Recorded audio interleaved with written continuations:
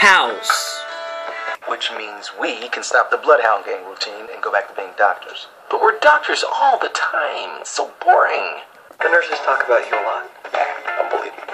I keep a sock in my pants. House! House! House!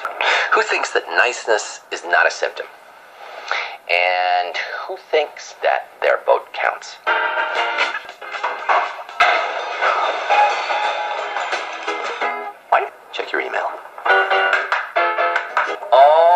My god!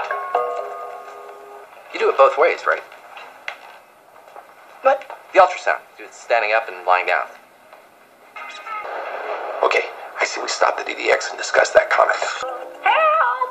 I'm trapped inside a monitor!